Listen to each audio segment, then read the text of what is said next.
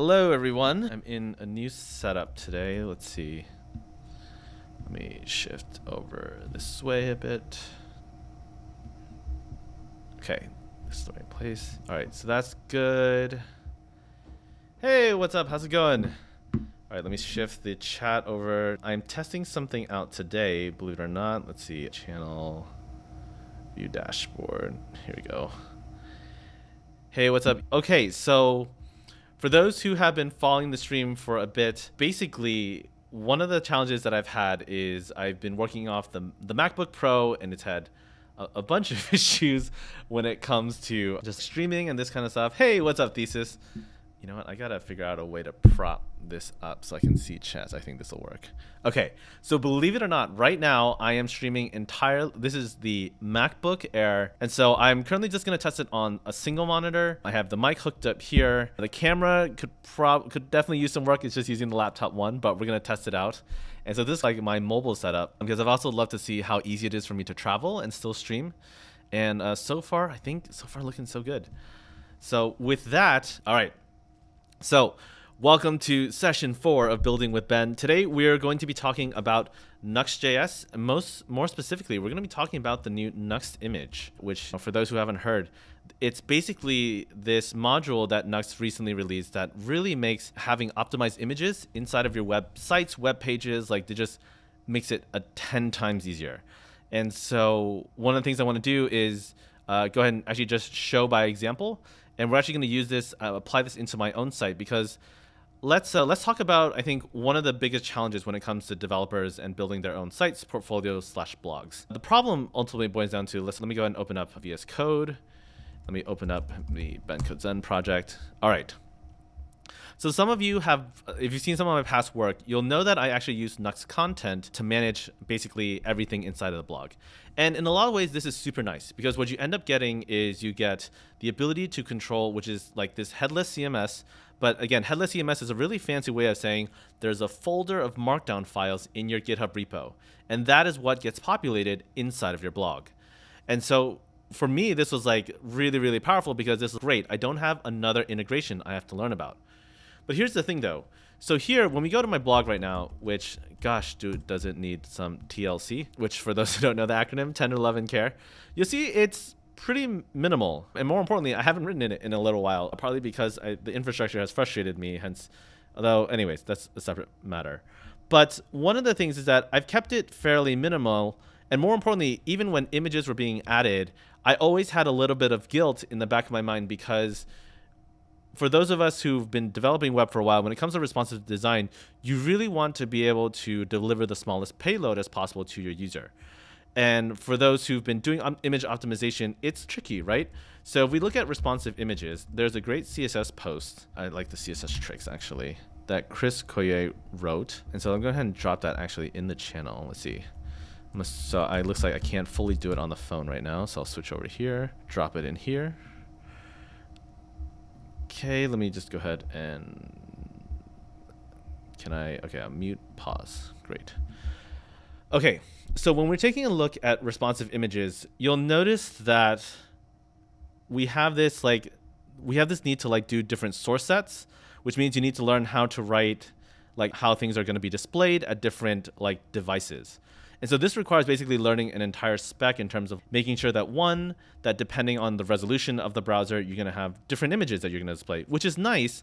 But then this gets tricky now because this means you have to manage a lot of different aspects. This means, for example, your image, you have to not only generate multiple sizes, you might have to resize them a certain way, or maybe need to display in different contexts in different ways.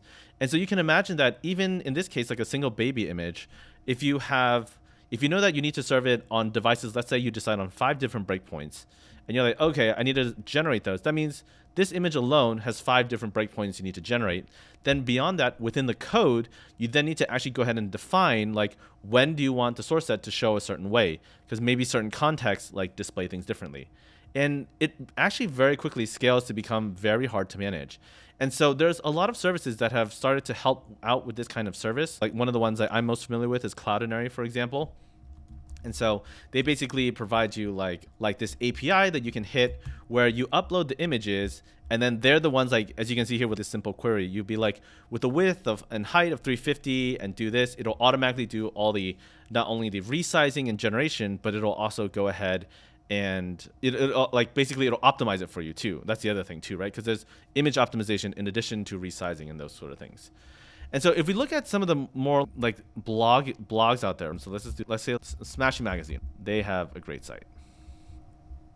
And so for a lot of things, you'll notice that a lot of these, let's see, the bump, sure, let's take a look at Stephanie's.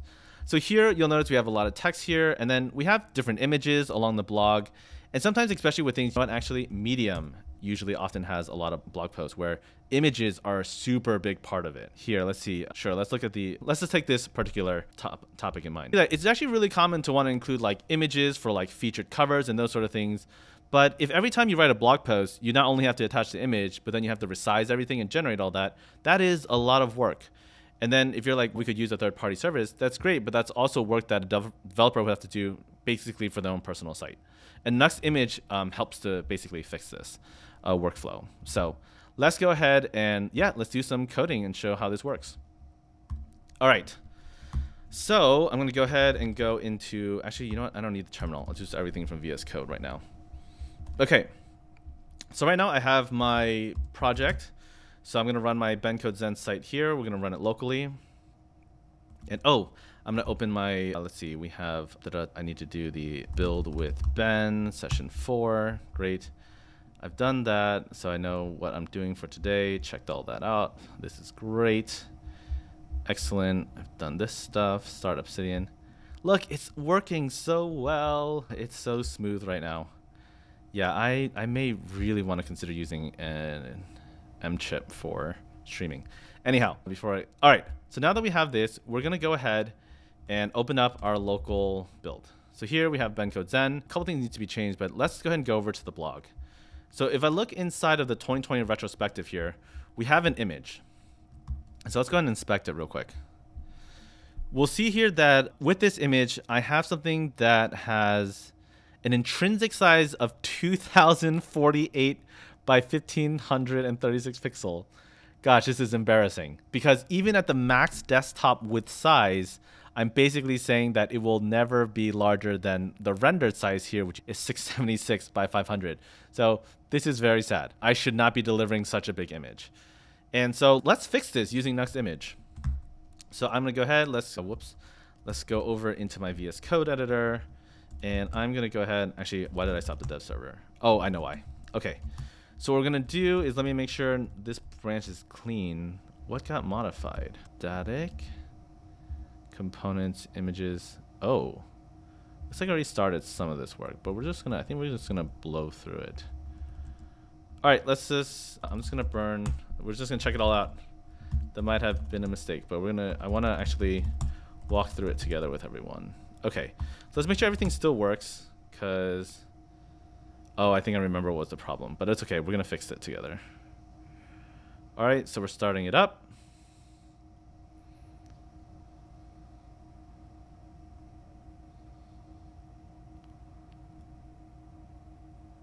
Okay, great. So here we have it here. We have the blog. We have the retrospective. Excellent. Okay, everything's still working as expected. So if we want to get started with Nuxt image, it's fairly straightforward. We just go ahead and install it using the yarn add command. So inside of here, let's go ahead and now stop our server. I'm going to bump up the font size actually a little bit so it's easier for people to see. And then let's go ahead and add Nuxt image into our pipeline. And so now that we have this, now that that's installed, I'm going to go ahead and configure that inside of our Nuxt config. And so basically it's a new build module that we're adding because um, basically my site is always, basically we want to build a static site. And so we're using build modules. So here I'm just going to add the Nuxt image. And then uh, just to keep things consistent, I will give the link to the docs here. So grab that. And then, so you can see here, Nuxt image, add it to build modules, great. And then I'm gonna add the target static though, just to be very explicit, right here. Okay, and I think with that, let's make sure everything still works as expected. So yarn, everything's good. Yarn dev. Okay. So far, looking promising. Bum, bum.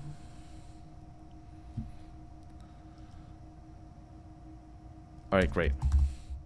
All right, so everything's looking good so far. Learn, learn pages broke. Oop, everything's, oop, things are breaking. What is going on? Refresh.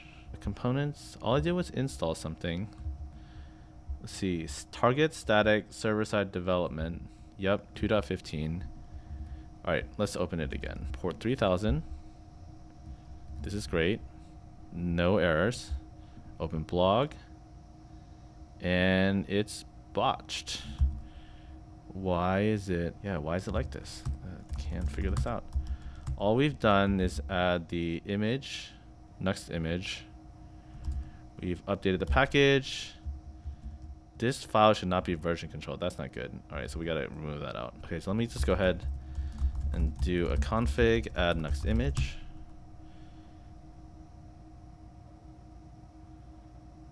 Okay, great. What is it not like? It doesn't like yarn lint.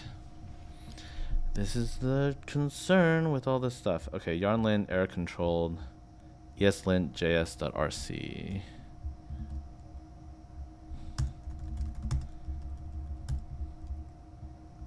Okay, yarn eslint fix. What else we got? We got blog post list.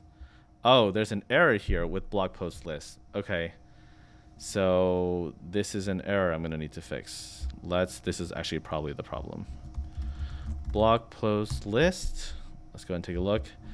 It's saying that it doesn't like the filter aspect. So let's go ahead and look for the dot filter in here, which is here. The item here, okay. So I think it's because if there is nothing being returned, it's just like erroring out. So I'm gonna switch this is statement to say basically that return, we'll do a ternary where basically if should publish is true, then we return item, else return false. So I'm just gonna minimize that into one line like this. Okay, so now that we have that, let's, maybe that's actually what was causing the build error. Okay, that's good. Ba bum bum bum.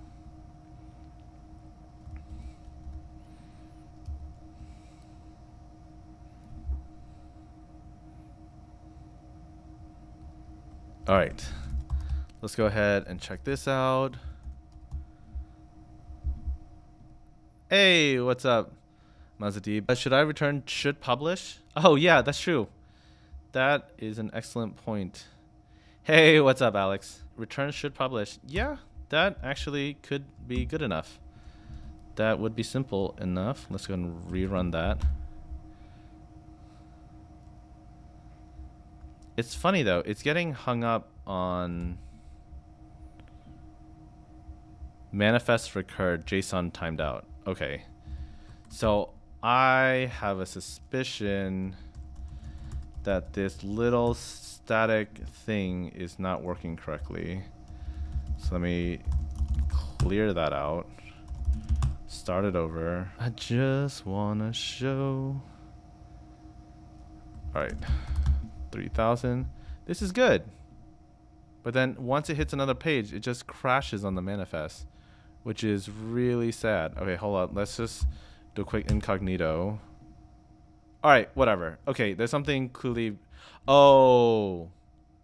Okay, hang on. Let's learn how to fix this. So I believe basically something's being cached. I bet you it's a service worker that really shouldn't be here. Oh my god, there's so many service workers being I just need, I'm just gonna, is it any cookies in here? Just gonna wipe it out. Oh, manifest. Can I reset? Whatever. All right, we're not gonna worry about that on the stream right now. The important thing here, what's up, Davidtron? Hello, Cassidy. Alex, what am I using to switch between windows? Go to storage and clear all. Yes, okay. That's what I thought it was as well, but bum bum bum. Okay, refresh three. Okay, I do want to answer Alex's question once, assuming this did not under application. That's oh, okay. Hang on. Mazadib coming in with the clutch. Okay, let me go ahead and bump this up a little bit. You're saying Yep, I'm in application. I believe I've cleared all this. My guess is it's the manifest that's broken because it's something to do with service workers. Oh, clear this? Oh, that's probably. It is frozen. Switch. Back. Learn. That didn't do anything. Clear, including clearing. All right, I'm just going to close the window, reopen it up. Because clearly it's working in incognito. Okay, we're not going to wrestle with this right now. Alex's question. So how am I switching between windows? It's an excellent question. Let me introduce you to Keyboard Maestro. Actually, I've been trying to do this thing where how do I switch between applications? And boom. So there's like a little marker for like time stamping. So basically, Keyboard Maestro is unfortunately a Mac only application, but basically what allows you to do is design keyboard bindings for how you want things to open. And so a lot of us, like when we're switching between things, um, assuming we're not doing like the tab functionality, which again, to me is like a little, it's hard because it's hard to be efficient with that because sometimes things rotate and they don't work to me instinctively other than the last one. So I like the fact that I want to be able to access everything within two key presses. So rather than having to be like command space, Chrome, Firefox, or whatever, usually there's going to be a series of applications you use so often that you want to bind them within basically two keystrokes. And so what you see here is that I have what I've, I, I really need to write another blog post on it because I'm such a big fan of the hyperkey. And what the hyperkey is um, basically, you'll notice here that it's the, it's control, option, shift, command all pressed simultaneously, which you would never basically be able to do like normally. No human would ever try to press all four keys simultaneously and something else. And so I bind all four of those uh, modifier keys to the caps lock because I basically never use the caps lock. If I need all caps, I'll literally just hold down the shift key. I'm fine. So I've remapped the caps lock key to a hyper key. And what that allows me to do then is that when I hit caps lock C, it switches me to Chrome caps lock V, VS Code. Caps lock S, because I use Obsidian so much, caps lock O technically would be the more like normal one you would think of but i because i there's a huge advantage to having one hand basically be able to do all my workflows then a command s is like for second brain or i think of it as scribing writing so that's how i switch between that and that's how i'm basically swapping between things is with basically a single key press and it's so easy to do because your pinky just rests directly on the caps lock and it just does everything from there. So anyways, so for whatever reason, I'm running into caching issues, but that's not the point. The point is I want to show you, I want to show you this Nuxt image stuff. Okay. So in this retrospective, we've talked about it. this image here is ginormous, like way too big. Like it's irresponsible for me to be shipping um, something that's 2048 pixels for a render size of 676. All right, so what am I going to do to fix this? We are going to go inside of we're gonna go inside of the blog post. So I think it was what 2020 retrospective. Great. All right. And so in here I have an image. What I'm going to do is rather than use the markdown syntax, I'm going to use this new global component that's exposed by Nuxt image called Nuxt image. and what I'm going to do is here's the alt text. So I don't want to lose that. But more importantly, I want the uh, source to be this image. And the source, let's clarify where the source is. Actually, I'm going to show you this real quick. The source of the image lives in the static directory right here.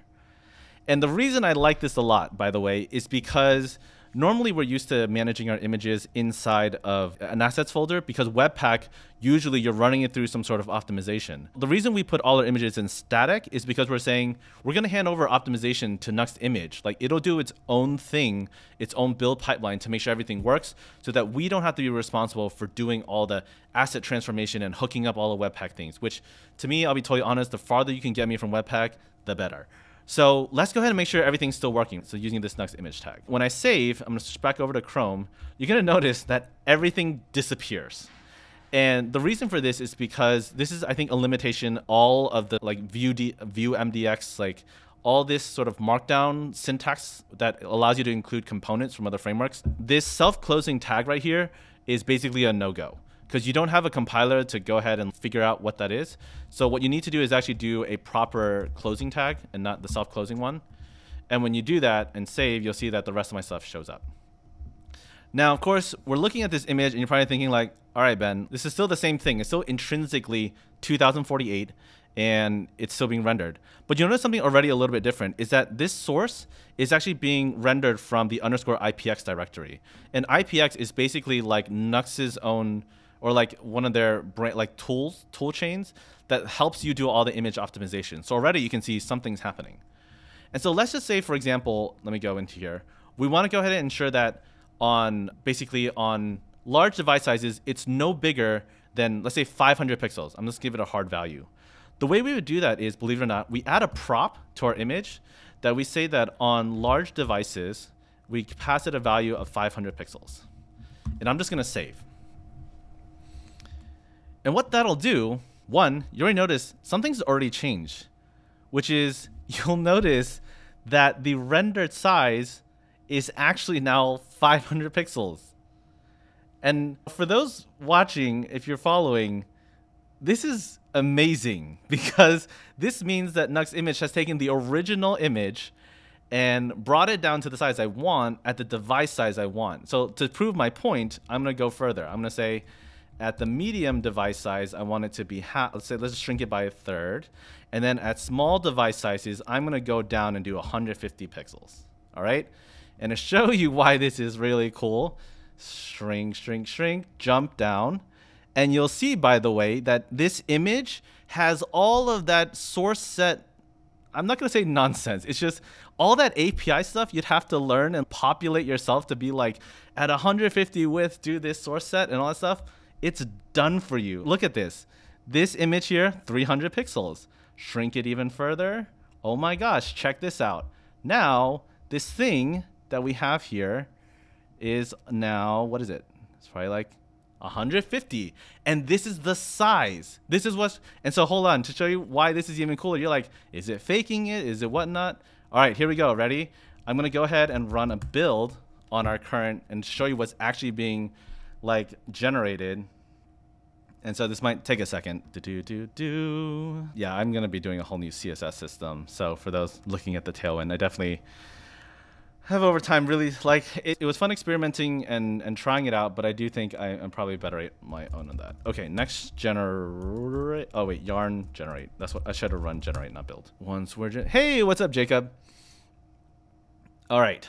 I, I really have to update the dependencies in my blog it has it needs a lot of tlc for this stuff but it's okay we are we're getting there are we okay building up okay i think we're to get out of dist directory. Boom. Okay, here you go. Inside the dist, dist directory, look inside of our public image. You're to see that we have our Dino stuff here, but hold up. Hold up, hold up, hold up. Blog 2020 retrospective index. Where's my image? Uh, not that one. Here we go. So inside of this Nuxt directory, you'll see now that it actually built out, okay, this time they're currently being hashed. So you'll see here that we have the Nuxt image slash 85835, 8357. Anyways, what I'm trying to show you here is that it's actually built out for you, although I'm a little confused at the moment because it should underscore Nuxt image JPEG. There must be something I'm missing. Oh, oh, oh. Oh, here we go. Ha! I went to the wrong image. Okay, here we go. These are my images at the different. Thank you, Mazadib. Ooh, Jacob's officially downloading Obsidian. Yes. Join the Obsidian team. It's honestly, I, I do really enjoy the software that's being built. Look, our images are generated for us. And the reason I think this is so exciting is because this I'm all about lowering the barrier of entry when it comes to this kind of stuff. Alex with the not occult. And so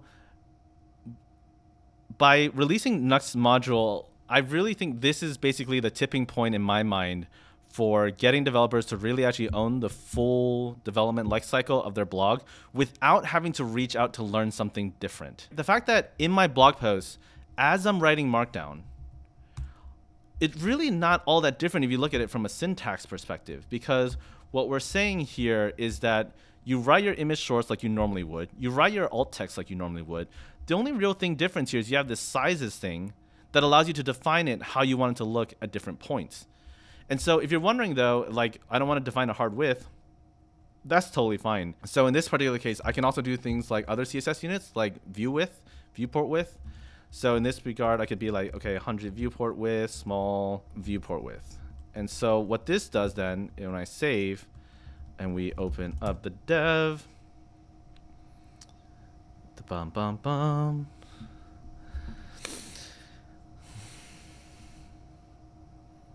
All right, here we go. And it's building. All right, great. So here, you'll notice now that our image now actually does what I wanted to do, which is actually hit the full width.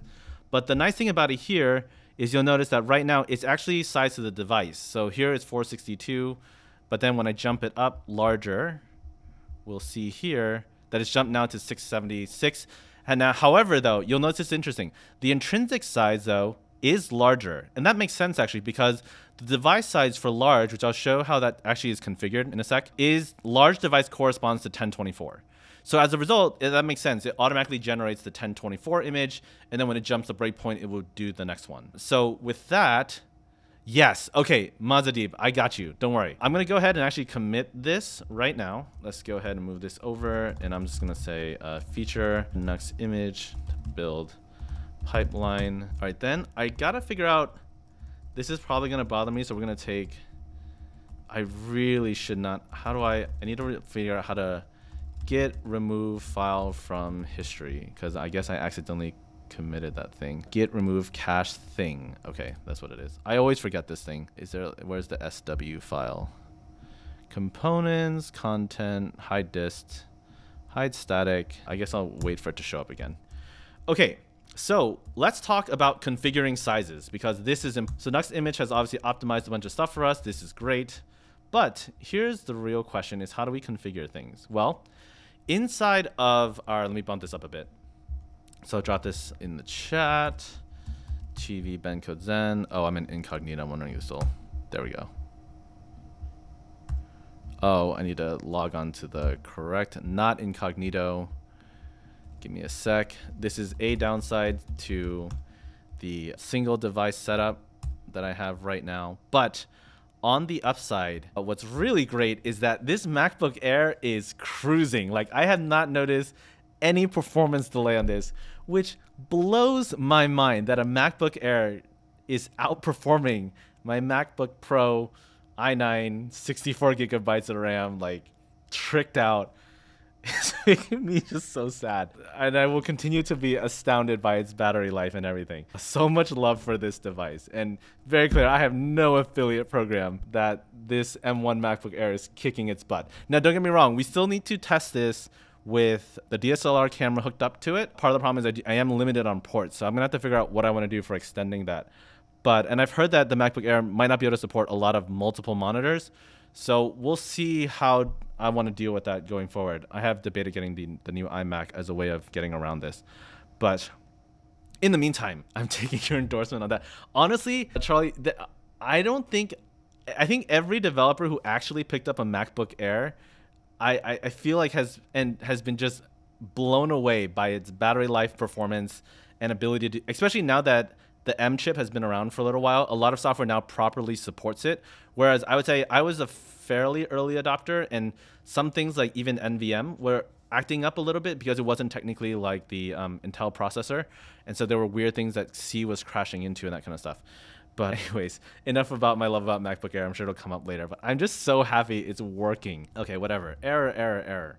What I wanted to show you all here is the fact that we can actually define the different screens. So these are actually what's being defined by default. You see that these are all basically your standard screen sizes, 320, 640, 768, 1024, 1280. Uh, 1536 is interesting to me. I thought it was something different, but cool. Oh, okay. Yeah, okay. I'm going to detract for a quick second on this. The Jacob has saying was waiting for the new 16-inch uh, MacBook Pro. I will tell you right now, I was waiting for the exact same thing. I thought they were going to announce it at WWDC. And honestly, I I am actually I'm one I'm disappointed they didn't release it, but it's fine. I think it's a matter. But in the meantime, the MacBook Air seriously has been a big upgrade on my productivity.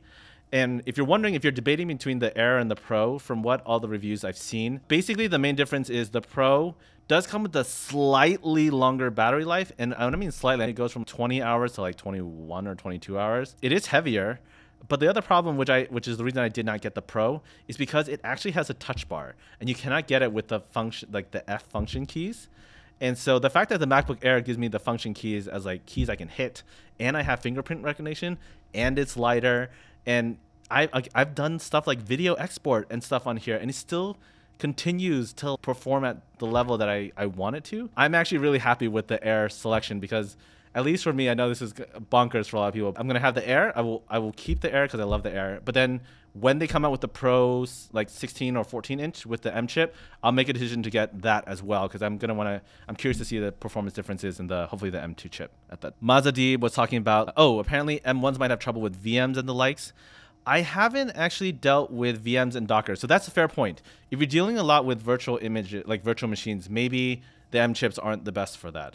But as far as running node servers like your local yarn yarn dev again i've done screen recording done video exporting even done like blender so 3d animation all that stuff it has worked really well. Yeah jacob i'm glad i could help with that. And and the other thing that i think a lot of people don't know is apple has a very generous return policy. Like I believe if you return the machine within 30 days, as long as you didn't demolish it, I'm pretty sure they actually accept it. Uh, so something to keep in mind as far as should I even try it because again I, I, vaguely remember the return policy is, is really quite generous. Okay, I said I was gonna stop gushing, but again, if y'all have more questions about the M1s, I'm more than happy to ju- to jump on that. But so back to the Nuxt image piece. This is really cool. I think that one they give you this API that makes it easy to modify. So where this would go, let me show you real quick. If I go inside the Nuxt config, basically like most frameworks here, we have a bunch of stuff we can configure. And so things like the comp like components property here, I could basically in here, I'm just going to copy this real quick because uh, you basically have an image property that you're going to be looking at. And inside of here, it'll receive a config object. So if we wanted to add a custom screen size, we would basically add like screens and call it like Twitch size. Although it's a JSON. No, this should work. Twitch size and Twitch size is whatever 1440 pixels or 1440 and now that would give us access to this new size screen size when we're accessing it but to me actually what's really interesting is that the developer experience the Nuxt team is just phenomenal at this is that it goes beyond this. So Let me just save this because this is fine as an empty object. What it allows you to do here is that you can actually set presets on your images, meaning that rather than be like, oh, I have to like manually define this every single time, we can basically provide a Nuxt image preset on the source, and that will take care of it even further from that. So you can imagine if let's say for let's say I'm gonna say that every single blog image will be a preset of a certain thing with a specific format. And that I didn't even talk about that. You can actually choose the format that it optimizes and outputs it in. It's amazing. Let's do this because actually this is interesting to me. So what if I gave a presets and I'm gonna add the what is it modify? Oh, which okay here we go. So I'm going to call it a blog. And the modifiers that it'll take are, we're going to switch over. So format with height, I'll remember that. Format is we're going to make sure that it's JPEG. Width, we're going to make sure that it's 100 viewport width. And that's, actually, you know what? Let's just make sure we, sh we show that it works. 50 viewport width. Let's just save that. So if I save that here and then start up the dev server now, this should take in the new configurations. Okay.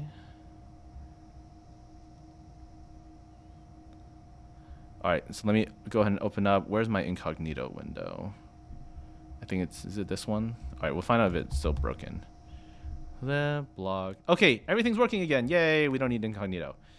Okay, so here we have our image working exactly as it was previously, where it's 100 viewport width. But let me go ahead and maximize this so we can actually do like a slide transition to make it easier on people so it's less blinky.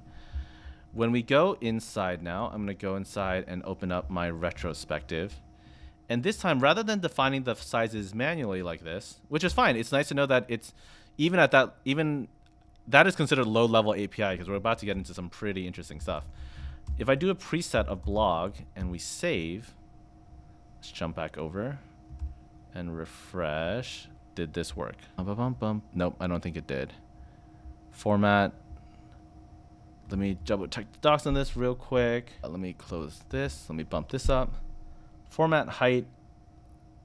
Maybe it doesn't take CSS values. Maybe I was a little bold in that. Let me just make sure it even works to begin with. So let's let's do 250 and I'm just gonna do a height of 100. Let's just like be, let's follow the docs as close to as as humanly possible before I try to go outside the, too outside of it, and end up breaking it. Let's see. So Charlie was saying, oh, Thesis is saying that Thesis has the M1 Pro, no problems with Docker so far. That is great, excellent. And then Charlie saying need to go Discord server going for these kind of discussions. I have I have debated setting up a Discord server, but in the meantime, if there's a Discord server I can totally recommend, actually you should totally check out Cassidy's Patreon because if you join us one of her Patreon, she has All right, I think it's here. Patreon boom. Her her her Discord server is amazing. I've had the the honor of being able to just be in there and for some of the discussions. If you're looking for a lot of similar-minded people, I will say I have a lot of fun in her Discord server. So in the meantime, while I'm figuring out whether or not I end up setting one for myself, definitely uh, check hers out. She's really great. All right, back to this. Oh yes, it worked. Ha! Oh my gosh, I'm so excited. Look at this. It actually cut it the way I wanted it to. And you know why this is exciting is because this means that now we can actually do things like blog post covers. We can we basically now get to optimize our writing workflow to just we drop the original image and then it takes cares of it. it takes care of it from there. And that is super exciting to me. And so presets are super great. Some of this other stuff don't worry about. Actually, this is something I do want to change though. So something we noticed earlier that I'm a big believer in, and this has this is completely framework agnostic. So I don't, I basically don't care what framework it is when it comes to this.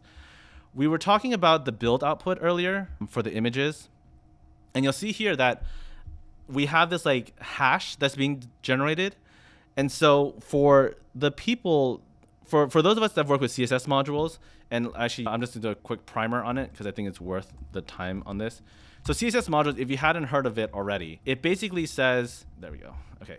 So what it basically says is that we're going to take your red class, right? That's color red. Actually, I'm not going to do red. I'm going to do button because everyone knows the, the infamous button class. Border, radius, five pixels, border, color, blue, whatever. Okay, CS, so the problem with well, we know that CSS scoping becomes a tricky part, right? When you add the module, when you use CSS modules, again, this is how Vue happens to do it, but again, every I think every framework has their way of doing this. At the end of the day, what's injected into your website is a customizable hash. So usually what ends up happening is it looks something like this. It's valid, it's a valid CSS class, but it's also unintelligible. And the reason I I'll just use the word. The reason I despise hash only generated things is because it makes it incredibly difficult to debug later on. And there's absolutely no reason why we need to go this extreme when it comes to randomization. So I'm a believer, in this case, for example, with CSS modules, if you're using it, you really should be prefacing your hash with like basically the the original class because at the bare minimum this tells you that the original class was this. I can at least search the code base for dot button. But i'm going to do you one better. I actually think for an optimal developer experience it should go one step further because unless unless your css is really impacting your payload this much i think this extra bit of text is even better which is i think you should actually append the component that the css is coming from. Because now you have an even clear you're just I, I think that this will honestly save more time because I know that sometimes people get obsessed with saving bytes. This is not one of those cases because I, when things are broken, you really don't want to be wasting developer time on figuring out where things are. Let's let's build cooler features and actually fix the bug.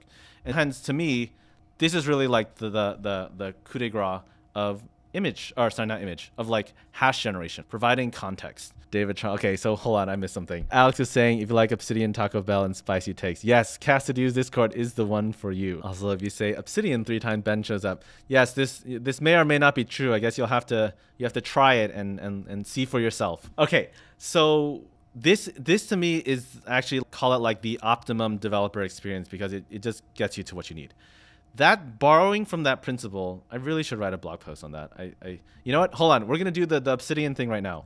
And say why i call it my beliefs on hash generation for css modules. Oh my gosh we have a mention here of dota 2 oh man I've been playing a lot of Fortnite, by the way. For those who don't know, Fortnite has been my game of relaxation. Believe it or not, uh, a lot of things to talk about with that. But I do, I did have my Dota days, league. Oh gosh, memories. Okay, so then again, true to my true to my Obsidian ways, I'm gonna go ahead and make sure. So this is content I want to write at some point. Really, is gonna end up probably being a blog post at some point, and I'm probably I don't know where I'm gonna publish it yet but this will go in the queue. And I think that's good enough. Yep, just those tags will throw it into my content box. And to show you how that works, my content dashboard is here. Oh wait, is this content muse? Oh wait, I didn't I did not rename this yet. Where is it being? Yep. So here are here's my queue. So then my beliefs on hash generation for CSS modules. See, it's not beautiful yet, but it's working. Okay, I took my note. It's it's it's put into some. People are talking about gaming. I love it. Apex Legends. I've heard a lot of things about Apex Legends. Heard good things about it. Jacob saying the fire in Fortnite is so cathartic. Yes, for those who um, follow um, our old boss Sarah Drasner, she is a master of fire and just we had a lot of fun with the fire bows uh, back in season six. And oh, fun fact we were talking about developer like delight and like little easter eggs in fortnite there's a costume which is a, a corn cob so you basically run around as a corn and we learned that when the corn cob is set on fire and takes fire damage it actually pops popcorn like that's amazing. I love that attention to detail to these kind of things and just little things like that. To me, I was like really what makes user experience just an absolute delight. Okay, so I've added my notes on that.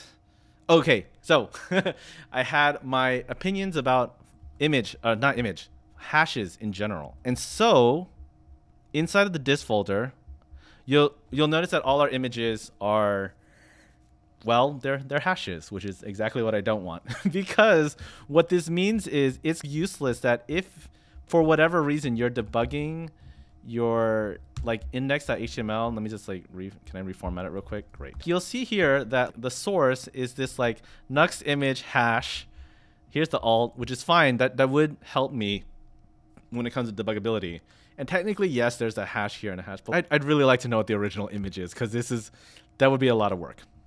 And so though it's not configured by default the Nuxt team already thought of this, thank goodness, because I asked them about this. And there's this configuration option for what the static file name will actually be outputted to. So if I go ahead and copy this over, and I'm going to go ahead now and jump into my, don't save this because that's wrong. Nuxt config, we'll go down to the image property. I'm going to add a, set the static file name here. And so now when I'm going to run my, I'm going to stop this now. We're going to run Ooh. Kill, kill, kill. Yarn, generate. Go. Okay. Okay, great. Okay, so Mazadi is saying here, I think React.js uses this class name generation strategy in development.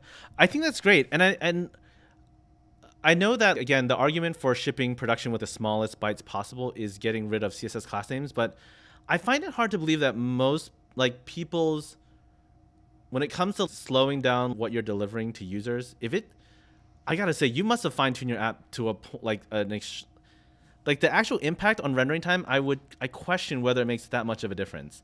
That like you probably could not be spending more time on, for example, image optimization, on actually making sure your code is bundled correctly because JavaScript and there's so many other things I feel like people could be fine tuning, but a lot of times we get caught up in these sort of like optimizations of things like oh we could like save a few kilobytes. But if that's not blocking your rendering time, it's really a pointless optimization. So I would, I, I still, uh, in my personal opinion, I would argue it's worth shipping that in production. Because isn't that where the bugs ultimately are typically? I would say like when a user says something is broken, you want to actually look and be able to like you want to ask a user to go, hey, open the inspector, check this out. I think there's, I, I, I would argue there's value in that. That said, I'm sure there are some discussions to be had, and always there are nuances and exceptions, but it's just a principle of mine to make debugging for developers as easy as humanly possible. Okay, so now that everything's built, let's check this out. So here we're inside our Nux con. Let me go ahead and actually widen this a little bit. Okay, so inside of our dist Nuxt image. Oh, this makes sense. I forgot. It, it still illustrates the point. Because my I forgot in the README, I'd only gave it a, a, single preset. It only generated one image. But you'll notice now it did exactly what we want, which is it appended the original image name with a hash, which is perfect. This is so good. And I'm just so excited about this because now, let me go back. I'm going to, what I do want to figure out, actually, I realized though, let me see, where's my, oh, no, no, no. I wanted 2020 retrospective. 2020 retrospective. All right, so rather than this is something I do want to figure out though, because I would like to say the preset blog is always going to be this certain thing. I don't want to have to define the multiple sizes every time. So let's try to debug this together real quick. So inside of Nuxt config, I had said that the blog should always output JPEG, but here's the thing: it doesn't take responsive sizes. I would hold on. Let me look at the, the thing real quick, because let's see, we have the source, we have the width, the height, the sizes. I'd love to make that a preset. Preset cover. I don't think the cover, you know what? I'm just going to call it. I don't think the cover takes the CSS value. Oh, look, interesting though. You can actually define the fit, the modifier. So I imagine that's like you could maybe even position what's actually being outputted or output. I think that's, is it output or outputted? I don't know which the past tense of that. I'm gonna say the output. Format, quality. Yep, you can define the quality here. Cover, contain, fill, inside, outside modifiers with I think these modifier oh what? No. Hold on I just discovered look look at this hang on look round corner zero of a hundred what is this? Oh wait wait wait wait wait. Round corner might be a cloudinary thing hold on I'm not gonna play with that just yet. Uh, so there's a question inside of the chat does the Nuxt scaffolder support Tailwind JIT why is JIT not ring a bell? I know what Tailwind is, just in time mode. Oh, that is a good. This looks actually this looks new. Hold on, Nuxt Tailwind. I it might support it. They're usually Nuxt and Tailwind are usually pretty good. Yeah, helps you set up Nuxt Tailwind CSS too. Yep, supports Tailwind just in time. Yep, yep. There you go. So let me drop this in the chat. Whoop, that's not what I wanted at all. Go back. All right, so here Wow, why can't I copy correctly? All right, we're gonna jump inside of Twitch real quick and drop the link. So yes, Tailwind just in time is supported. Whoa, my face is so big. Hold on. Okay, this is a better distance. I need to get used to this. Okay, boom. All right, Tailwind is supported there. Oh, this is, I wonder, this would be cool we could play with stuff like this, but I, I see that the, Okay. Oh, sorry. Let me. This is worth clarifying. So I am. I'm obviously very excited because I really love it when developers have a chance to own the tooling, but without a ton of configuration. And so what I've showed you here is like the native Nuxt provider as far as it can build the stuff on its own.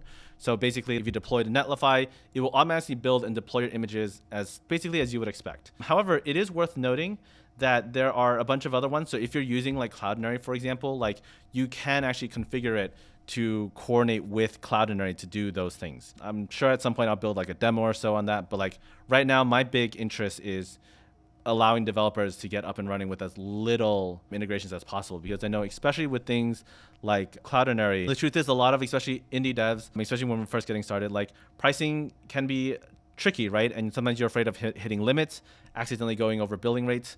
And guess what? With the with what Nuxt offers you with the IPX out of the box, you don't need that. It does all that for you, and then and then whenever you need to scale to something like Cloudinary, then you can actually do so intentionally. But in the meantime, you get to learn how to use technology like this, and I think that's I think that's really exciting. Okay, so let me switch over here.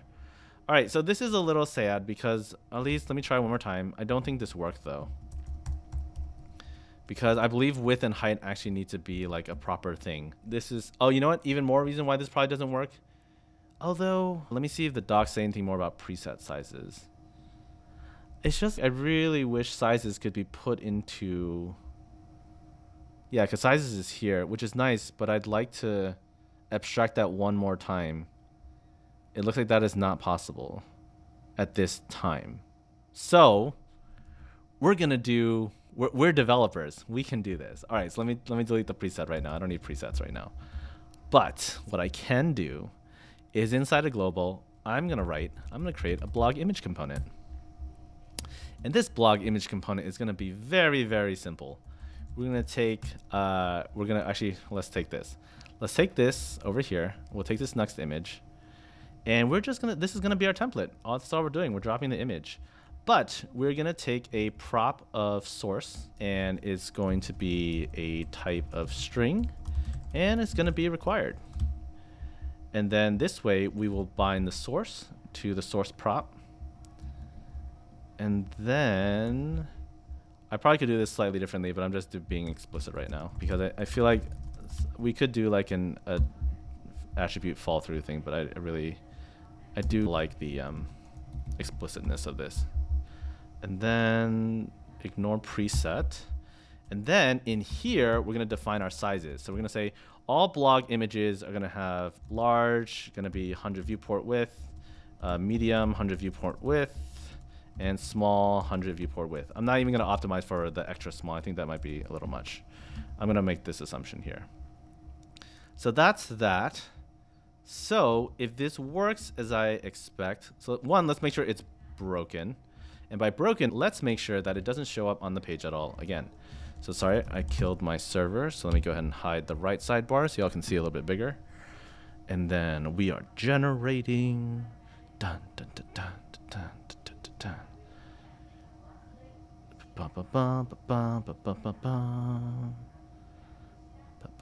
Okay, so now we're up and running. So gonna refresh, and great, our image is gone. This is expected. Okay, so now we're going to test this out. We're going to drop in. We're not going to, okay, so we're going to, I'm uh, sorry, I'm copying this back in so that I don't. So we're going to do uh, blog.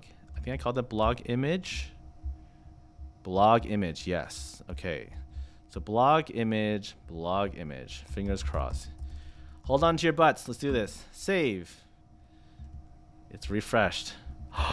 did it work? Did it work? Did it work? The fastest image is no image. Said thesis, well said. But check it out. There it is, 1024. Drop down. This is it. Drop. Oh, wait, it's not small enough yet. Oh, wait, did it not? Here we go. Wait a second. Refresh. Oh, is it because of the device size? It's not. Okay, it does have it though. 640 here. 640. Okay, that should be fine. I think this worked. We're going to go ahead and verify that, though, because I'm a little skeptical.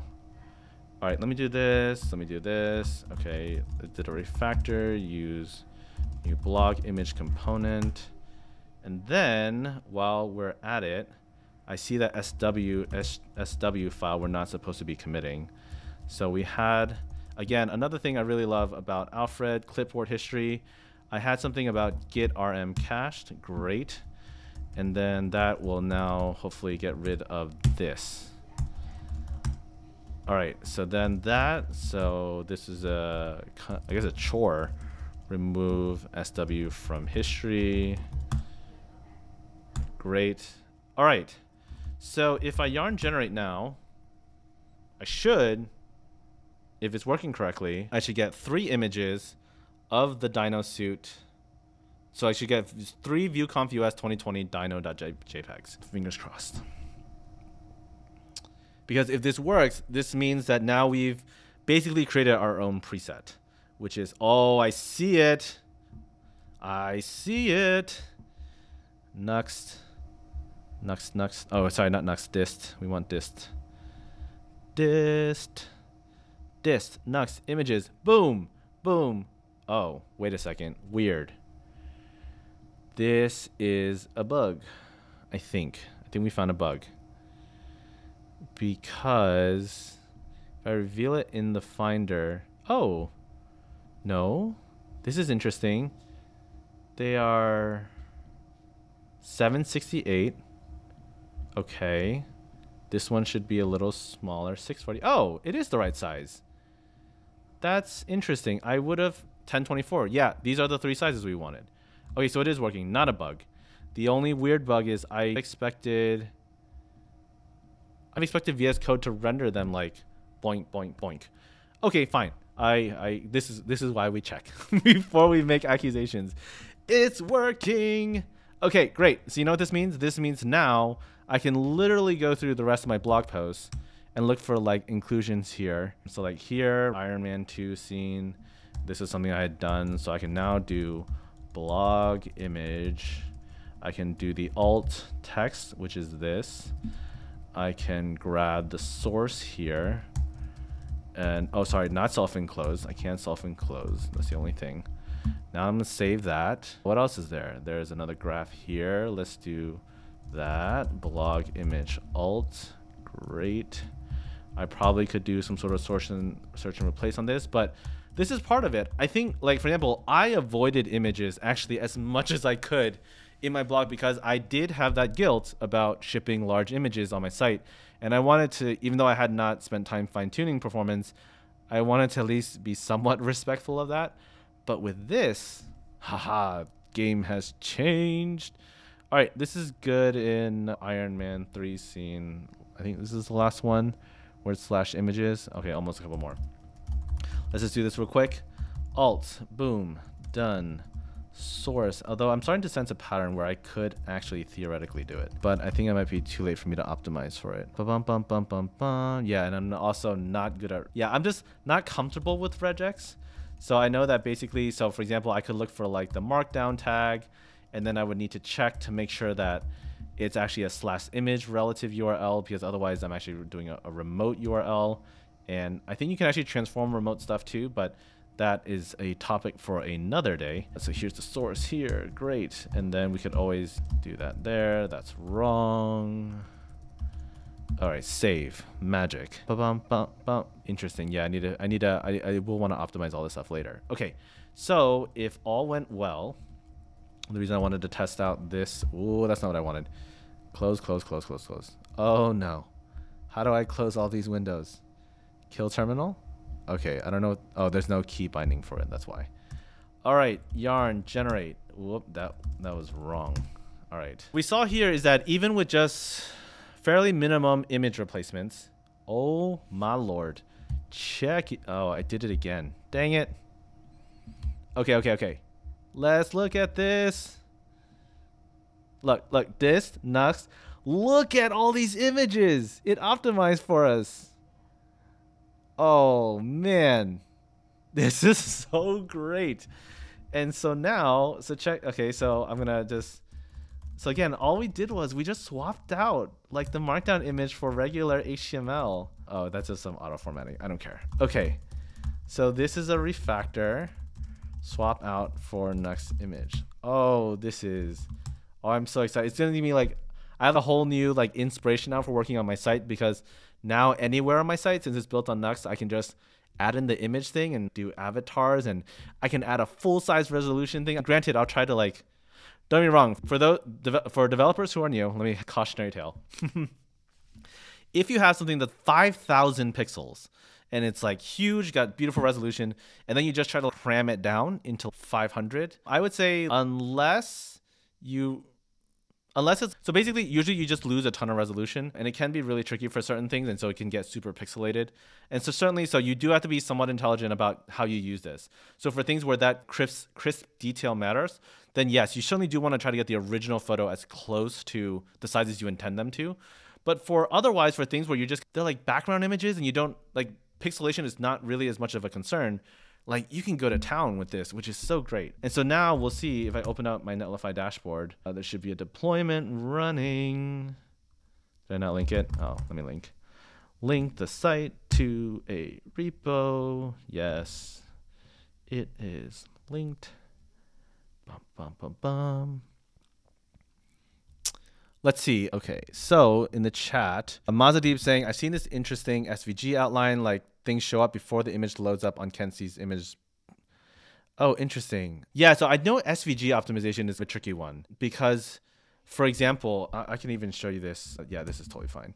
So one of the things I, I got recently, so I commissioned this little dragon avatar. So let me let me give the shout out though, because if you're looking for this kind of work, she's awesome. Kelly Mahoney, so she she does the Soul Splush. So some of you might recognize some of her work. She's known for some of her like framework stickers as well as other things. I just I really love her stuff, so I just want to support. So she has these really cute dev stickers like "This is fine," "How to y'all ML," for example. Shout outs to her. I'm just gonna drop her link. I get I get by the way very clear. I get this is not a um, I don't get any like kickbacks or anything. This is really love her work. I did I got I did a commission with her. So she can usually character commissions here.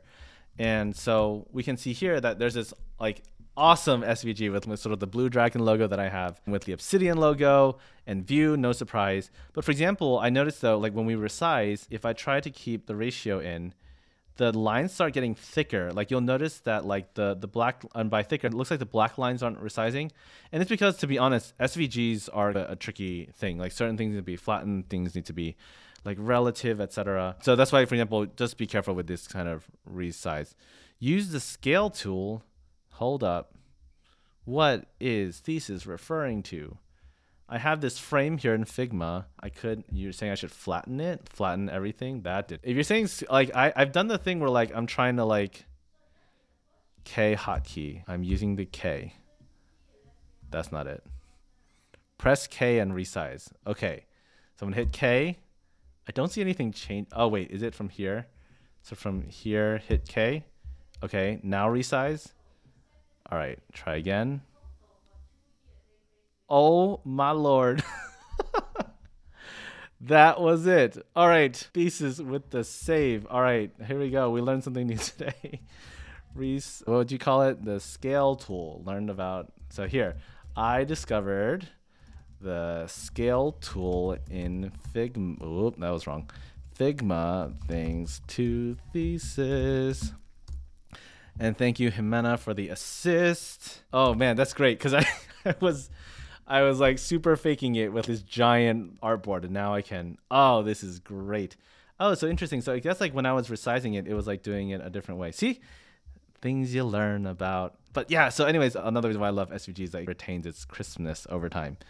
But uh, anyhow, image optimization, tricky topic. But I just okay. Oh, here we go. Is it deployed? Ntl open. Bum bum bum. Oh no it oh wait. Branch failed. Uh-oh. I think it did not work. This is yeah swapped it out. Something broke oh no is it the oh wait failed during yarn install weird let's just clear cache, and deploy site. I have a lot of old dependencies. Hey, what's up, Walolo? Is it Walolo? Walolo. I like it. I like saying it. Yeah, Nuxt Nuxt is definitely at this point my sort of fr- uh, meta framework of choice when it comes to Vue. But it's totally worth mentioning that for those who love like the GraphQL Gatsby syntax, Gridsome is also an option for you as well. So they basically it's very basically very similar to Gatsby. So the the knowledge transfer should be fairly straightforward and and then other static site generators to definitely keep in mind. VPress is really kind of the the hot one to really keep a watch of. The team the team is actually working a bit on working on getting it to like V1. And right now there's we're actually working on theming for it. There's a lot of great stuff that's happening. And so I I should probably do a whole episode on Vite and VitePress and all that fun stuff. Yeah, Alex, I apparently broke prod and I'm really sad. Oh, you know what? what if it's because I'm in the wrong what node environment is this in? Ah, it's in version 12. No, no, no, no, no. Don't deploy in version 12. Bum bum bum bum in node version. Oh yeah, I froze it at 12 at one point. I totally forgot I did that. That would explain why everything's breaking. Save. All right, now let's refresh deploys. Clear cache. All right, so let's see. Oh, Age of Empires freeze. Oh my gosh, that is that is a throwback right there. Oh man, Age of Empires. I speaking of Age of Empire type games, um, for those who don't know, Civilization 6 I've learned has a really like talk about like cult audiences. I do know Civ has a really big audience audiences for like really loyal fans, and recently got introduced to that by Cassidy. And gosh, that The learning curve for that game is it feels intense. Like if people told me that Dota was a large learning curve, but maybe because I had prior experience, it wasn't as bad. But woo, Civ Six thesis next stream Age of Empires with Ben. Honestly, is that thing even? Is there even I? I've honestly I've thought about streaming gaming. I would have a lot of fun doing that. Not gonna lie. Age of Empires 4. Oh man. You mean Cassidy's productivity tool? Yes, him and a Cassidy's productivity tool. That's what we tell ourselves. Honestly, yeah, I've debated streaming gaming as like part of the channel as like kind of like a fun thing to do. They have the HD one on Steam. I mean, when you get RWC peeps to play AOE. Wait, what? Hold up. Cassie and I should do a, a co Civ stream. I would tell you, I am terrible at Civ 6 right now. Like, I basically I know the basics as far as like moving troops and stuff, but I feel like I don't know what I'm doing half the time. But Jimena saying that Age of Empires, oh man, I would actually like I would play it as a noob and like just stream it. That that sounds like a lot of fun. So Jimena, let's let's figure something out. But yes, this would probably be a long stream. That's probably why a lot of people like streaming stuff like Fortnite. It is nice and, and fairly quick. Oh look, I think it's it's live. Bum bum bum. Go over to the blog.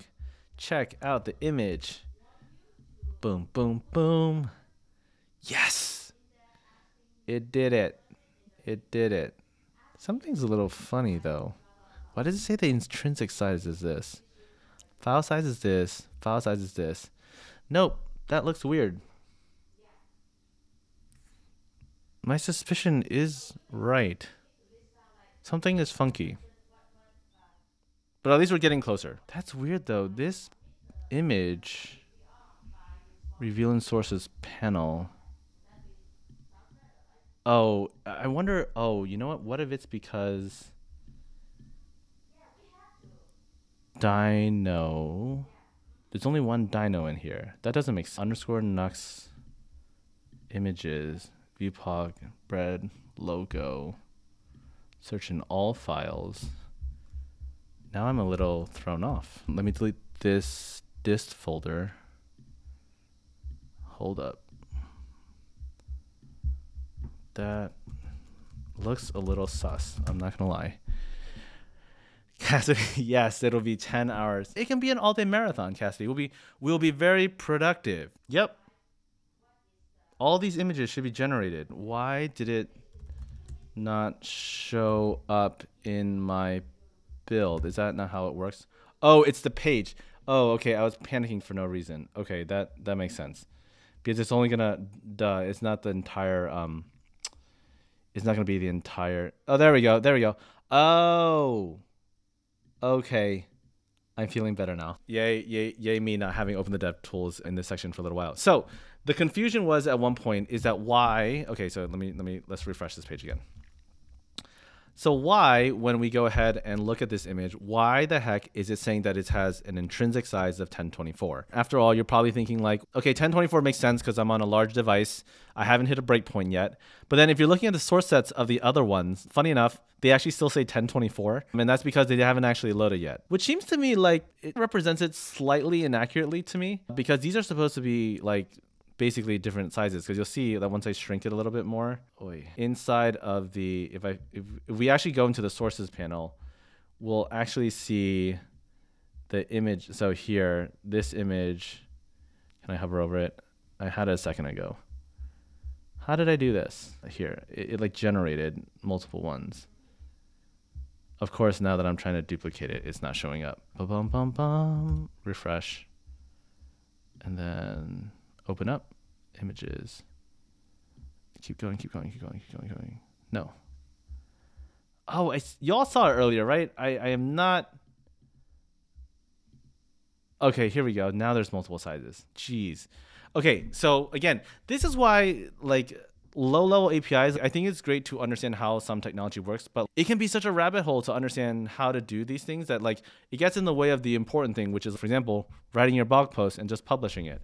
And for this reason, I am very grateful that someone else is dealing with how to optimize these things. Yep. Jacob is asking is it DPI or first render size? I think it's first render size, but it basically, yeah, it'll it'll check based on the responsive size. Let's see. Jimena saying, I'm out of practice with Age of Empires, but would still love to.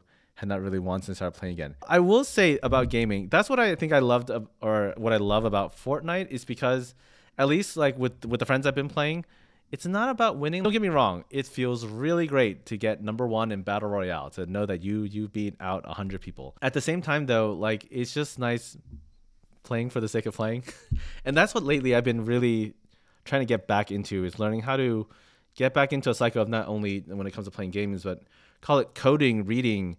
That really the joy and the outcome of it is in the activity itself and not necessarily the output because when we we're bound so closely to outcomes, I think this is often where we have expectations, and I like to say expectation really is the mother of disappointment.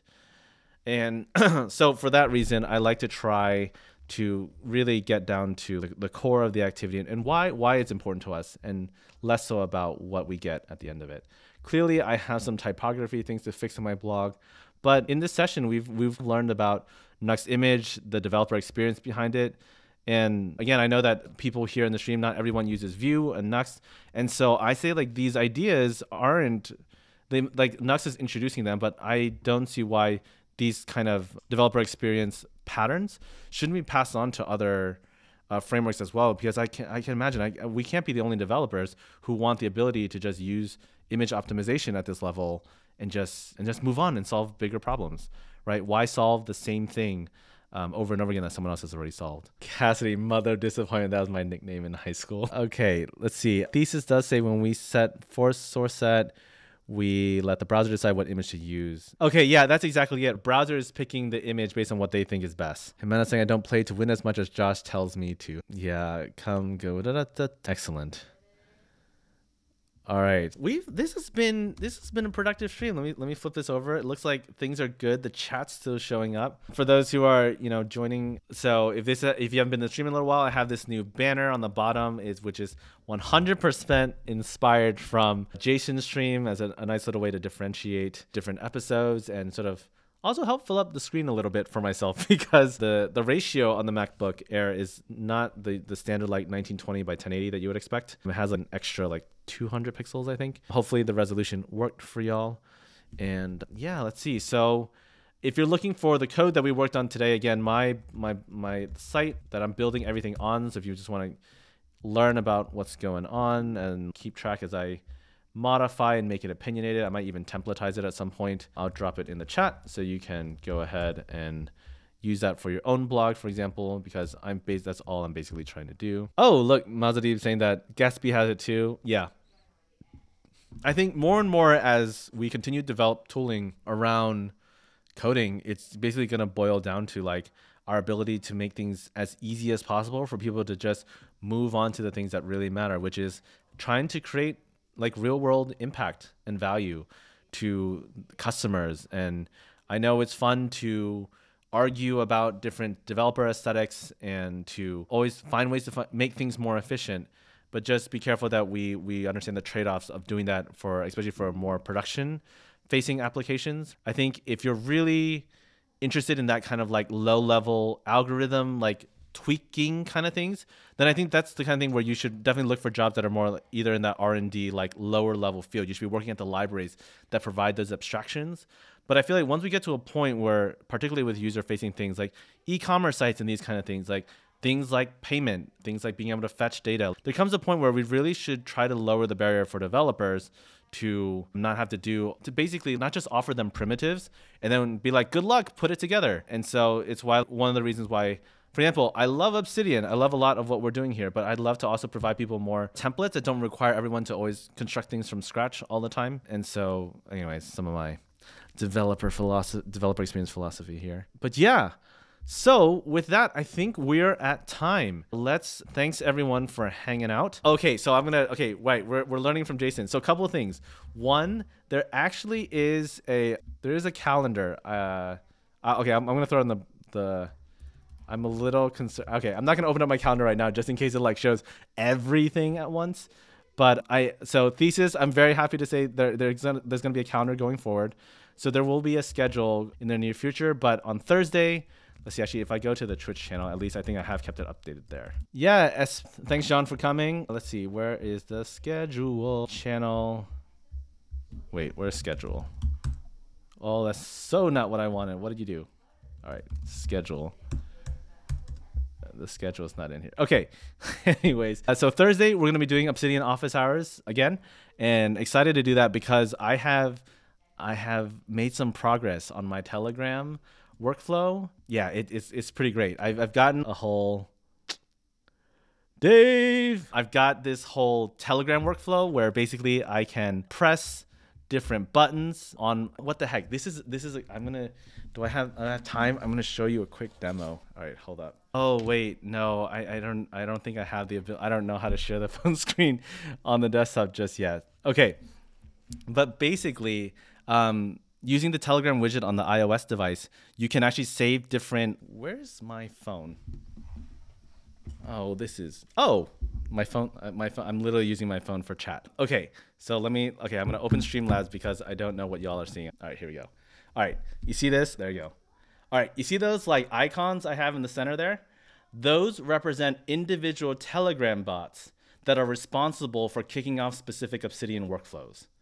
So just as a quick thing, so you see like the checkbox. If I click that and then I, I, message Obsidian, remember to get milk or whatever, what that'll do is that'll actually kick off a task workflow to generate everything inside of my Obsidian repo. And there's like a whole thing and it's it's very neat. And I'm very, very excited about it because it now as I'm going on walks, if I have an idea, I can hit the the, the light bulb uh, button, toss it in, boom, it'll update it for me. It's very, very cool. Anyhow, we will nerd out on more Obsidian things on Thursday. And let's see. So John is asking, does anyone use? Yeah. So I, I have a lot of I have friends in, in Asia who use Line a bit, and I've used the interface enough. I like it decently. I think the stickers I think aren't as interesting for me. Jimena in the chat's mentioning WhatsApp. I do have a lot of people who use WhatsApp, but I think for those who wanted to separate themselves from like the, the Facebook ownership, Telegram, I think, and Signal both respectively have gotten a huge boost in users usership. And I will say the plus one for me on the Telegram side is that its bot system is really, really nice. And and because it has a really great so I'm gonna just show this real quick because I think it's worth showing this. It basically makes it really easy. So here's my oh wait, here's the link bot. Like you can act like it has this whole API. So as as a developer, Telegram has a special place in my heart because it basically allows me to fire off to a link bot whenever it gets a message and then I can play with it and do things like get the HTML, extract it, create the GitHub file, and then I can actually send back a con- confirmation message. I don't think li- oh Line is here too. So there you go. If you're a Line user, you could do this with Line theoretically. Is WhatsApp in here? No WhatsApp. Signal? No signal.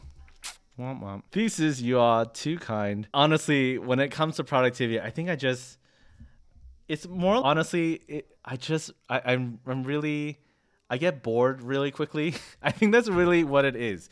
And so once I have to do something too too many times, I'm like, there's got to be a faster way. And that's that's been my drive when it comes to UX. Because for those who don't know, UX design was actually my kind of my original career path, and that's been my driver this entire time. It's just like, how do I make it so I can just get to the point? And so it's why, for example, um, some of you like may have known that the original workflow for N8N was actually like this big if else condition that one bot that you would type like slash URL, and if it was slash URL and you pass a link, that would trigger the link workflow. I found that that was too slow for me. I did not want to have to spend the time to do slash URL when I was on mobile, and as a result, I I wanted to optimize for like how my brain works, which is I got a cool link, I want to send it to the bot, I want to move on with my life. I don't want to have to like, configure it to be like it's a task, it's a thing. So hence the icons on the home screen, the different individual bots for the individual workflows. But we will nerd out on all that stuff on um, Obsidian Office Hours on Thursday. Any Keybase? I'm not sure what Keybase you're referring to, Charlie. Oh, Jacob saying signals E2E encryption may prevent APIs. Okay, that that kind of does make sense. All right, with that, it has been great hanging out with everyone. I am stoked that the MacBook Air has held up on Streamlabs, like under all the Chrome load, the sharing the screen. I think the only thing now we just got to test a DSLR. And we're gonna go, hey, Plan, you're here. Hey, how's it going? But it's been great. Let's go ahead and find someone to raid, shall we? Let's go ahead and open that up. Does oh does N8N have access to Keybase? I can look that up real quick. And nope, I don't see it. Oh wait, let me go to all. Key nope, no Keybase. Sorry, I have to look now that you, okay, I have to look really quick. What is Keybase? I don't know what Keybase is. End-to-end encryption. Oh yeah, so this, um, speaking to Jacob's point, if it the end-to-end encryption is probably what prevents bots from then getting into that. But it's been a lot of fun hanging out. Let's find someone to raid. Who's online right now? How do I max with this? Here we go. I I guess. Is there anyone? Oh, recommended channels. Let's see. I don't I don't know too many of these people. Oh. All right, we're gonna let's rate let's rate Lana. Oh, how do we do this? I forgot. I gotta. Oh oh oh. I know what I gotta do. I'm gonna stream that. and we're gonna raid Lana Lux. Is that her username? All right. And then thanks everyone. Hope you all have a good day. We're gonna do raid. Oh, do like this. Prime. Okay, let's let's do Primeagen then. All right, let's let's go. All right, there we go. All right. Thanks everyone for hanging out. It's been fun. Three, two, one. Let's do this. Pew.